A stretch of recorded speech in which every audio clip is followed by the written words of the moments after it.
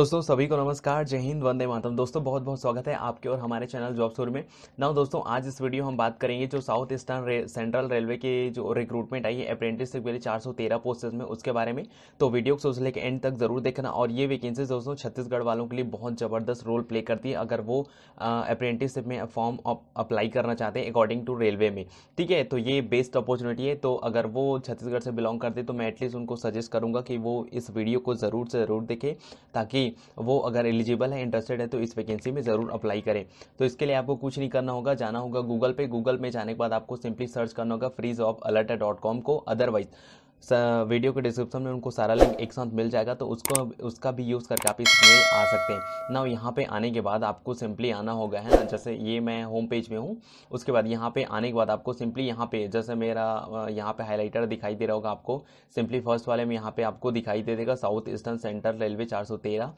Trade apprentice online form. ठीक है, या फिर आपको आना होगा यहाँ पे स्क्रॉल करते हुए, यहाँ पे आप लोग देख पा रहे होंगे जैसे जॉब नोटिफिकेशन में यहाँ पे, ठीक है तो सिंपली आपको यहाँ पे आना होगा जॉब नोटिफिकेशन में, उसके बाद यहाँ पे आपको फ़र्स्ट वाला लिंक मिल जाता है, साउथ ईस्टर्न सेंट्रल रेलवे चार सौ तेरह ट्रेड अप्रियंटिस ऑनलाइन फॉर्म 2020 ठीक है? तो सिंपली आपको इसको क्लिक करना है। तो उसके बाद यहाँ पे जैसे आप यहाँ आते हैं, उसके बाद यहाँ पे आप लोग पढ़ सकते हैं जैसे नेम ऑफ़ पोस्ट में यहाँ पे आप लोग को दिया गया है है ना? South Eastern Central Railway apprentice form 2020 उसके बाद देखिए इसको पोस्ट किया गया है। तीन नवंबर 2020 को, ठीक है? और मैं ये थर्ड नवंबर थर्ड नवंबर को ये वीडियो कवर अप कर रहा हूँ। उसके बाद यहाँ पे आप लोग देखेंगे टोटल वैकेंसीज आई है 413 पोस्ट में। उसके बाद यहाँ पे ब्रीफ इन्फॉर्मेशन या फिर शॉर्ट इन्फॉर्मेशन अगर आप यहाँ पे पढ़ना चाहते हैं तो यहाँ पे पढ़ सकते हैं। तो थोड़ा सा मैं आपको पढ़ के बता देता हूँ, जैसे कि यहाँ पे लिखा गया है South Eastern Central Railway has advertisement advertise notification for the recruitment rate for the है ना, यहाँ पे apprentice under the apprentice act 1961 in Raipur division of South Eastern Central Railway तो देखिए, ये रायपुर डिवीज़न के लिए आई है इसलिए मैं बोल रहा हूँ कि जो छत्तीसगढ़ से प्रॉपर बिलोंग करते हैं, दूसरे स्टेट का तो मैं छोड़ ही देता हूँ, लेकिन जो प्रॉपर छत्तीसगढ़ से बिलोंग करती हैं, वो इसमें ज़रूर से ज़रूर अप्लाई करें, क्योंकि बहुत ज़्यादा फ़ायदेमंद हो सकता है आपके करियर से करियर के अकॉर्डिंग उसके बाद यहाँ पर आप देख सकते हैं ऑनलाइन अप्लाई स्टार्ट होना हो गया, यहाँ पे दो नवंबर 2020 से ऑनलाइन अप्लाई स्टार्ट हो गए हैं।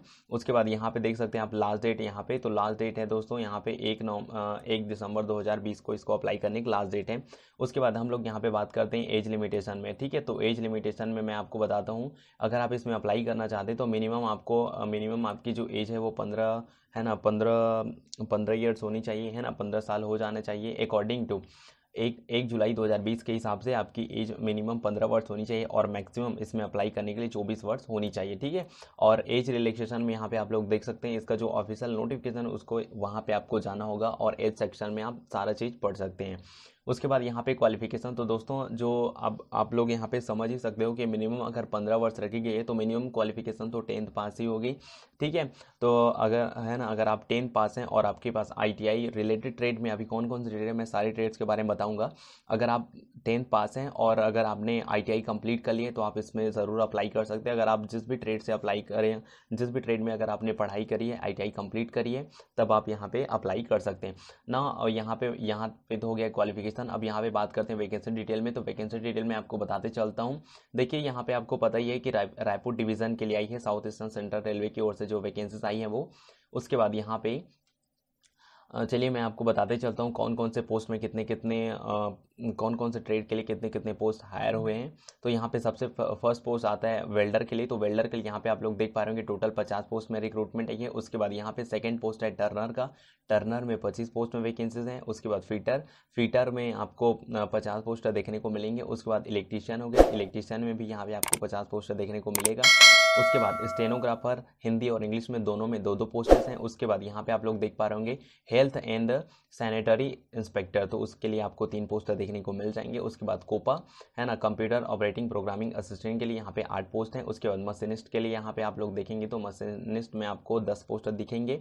उसके बाद यहाँ पे डीजल मैकेनिक हो गया तो डीजल मैकेनिक में आपको यहाँ पे पंद्रह पोस्टर देखने को मिल जाएगा। और वहीं पे मैकेनिक रेफ्रिजरेटर एंड एसी वाले के लिए, है ना एयर कंडीशनर के लिए यहाँ पे दस पोस्ट मिल जाएगा। और वहीं पे mechanic auto electrical and electronics के लिए यहाँ पे तीस पोस्ट आपको देखने को मिलेगा। अब यहाँ पे देख सकते हैं आपको वैगन रिपेयर शॉप में भी वैकेंसीज आई है ना, रायपुर के लिए। ठीक है तो यहाँ पे देखेंगे। तो यहाँ पे सबसे फ़र्स्ट है वेगन रिपेयर शॉप में अगर आप अप्लाई करेंगे तो यहाँ पे देख पाएँगे यहाँ पे फिटर फिटर के लिए सिक्सटी नाइन पोस्ट हैं, वहीं वेल्डर के लिए भी सिक्सटी नाइन पोस्ट आपको देखने को मिलेंगे।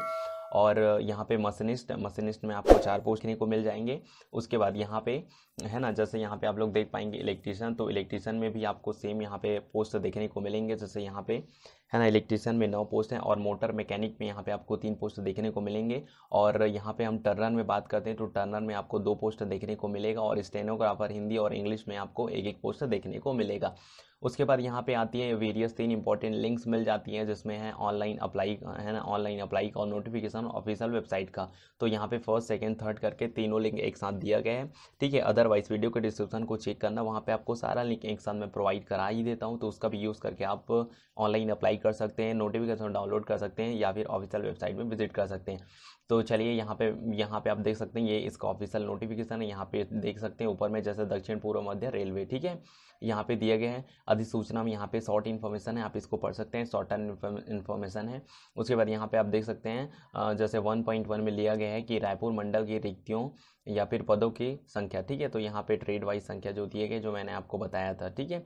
तो ये सारी चीज़ें, उसके बाद यहाँ पे शैक्षणिक योग्यता हम देख सकते हैं आप लोग। अभ्यर्थी को टेंथ प्लस टू शिक्षा पद्धति के तहत टेंथ है ना? दसवीं मैट्रिक या इसके समकक्ष उत्तीर्ण होगा। उसके बाद अभ्यर्थी को किसी भी मान्यता प्राप्त संस्था से संबंधित ट्रेड में आईटीआई की परीक्षा उत्तीर्ण होनी होगी, ठीक है? और एज लिमिटेशन वगैरह यहाँ पे आप लोग देख सकते हैं। उसके बाद यहाँ पे मोस्ट इंपॉर्टेंट चीज़ आती है अप्रेंटिस परीक्षण की अवधि एवं छात्रवृत्ति। तो देखिए, अब यहाँ पे मोस्ट इंपॉर्टेंट चीज़ यही आती है कि अप्रेंटिसशिप में यहाँ पे सिलेक्शन होने के बावजूद, है ना? सिलेक्शन होने के बाद यहाँ पे पेमेंट की क्या स्केल रहती है पे स्केल क्या रहती है? तो मैं आपको बता देता हूँ, यहाँ पे पेमेंट स्केल अगर आप बात करेंगे पे स्केल के लिए तो देखिए, जो इसमें स्कॉलरशिप है इसमें पहली बात तो ये है कि टोटल टाइम ड्यूरेशन यहाँ पे आपको एक साल का training as a apprentice training के रूप में आपको भेजा जाएगा। उसके बाद यहाँ पे जो भी स्टेट गवर्नमेंट निर्धारित करेगी, उसके हिसाब से आपको छात्रवृत्ति दी जाएगी, ठीक है? उसके बाद यहाँ पे सलेक्शन प्रोसीजर आता है। यहाँ पे आप लोग पाँच, पाँचवें नंबर सेक्शन में पढ़ेंगे चयन प्रक्रिया।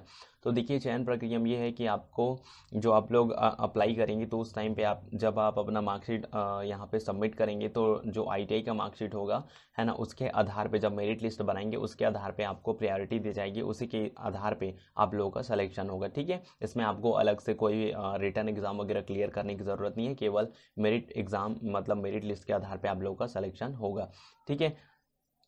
उसके बाद और जो भी चीज़ें हैं, वो बेसिक चीज़ें हैं, अगर आप देखना चाहते हैं तो देख सकते हैं और ऑनलाइन अकॉर्डिंग यहाँ पे अभ्यर्थी के लिए सामान्य निर्देश वगैरह दिए गए तो आप इसको देख सकते हैं। ठीक है, और अगर कोई भी, और अगर आपको हेल्प चाहिए तो यहाँ पे हेल्पलाइन नंबर वगैरह दिया गया है तो यहाँ पे टाइमिंग पीरियड वगैरह देख सकते हैं। तो सारी चीज़ यहाँ पे इंक्लूडेड है, जिनको हिंदी में पढ़ना है, हिंदी में पढ़ सकते हैं अदरवाइज़ इंग्लिश का नोटिफिकेशन यहाँ पे है ही, ठीक है। आई होप कि ये वीडियो पसंद आई होगी। अगर वीडियो के अकॉर्डिंग कोई दिक्कत होती तो प्लीज़ नीचे में कमेंट सेक्शन है, वहाँ पर जाइएगा, बिंदास अपना कमेंट करके मेरे साथ अपना जो भी डाउट्स वगैरह वो शेयर कर सकते हैं, ठीक है। आई होप ये वीडियो आपको बहुत ही पसंद आई होगी। तो फिर चलिए मिलते हैं किसी और अच्छी नई वैकेंसी अपडेट के साथ, तब तक सबको bye have a great day जय हिंद, वंदे मातरम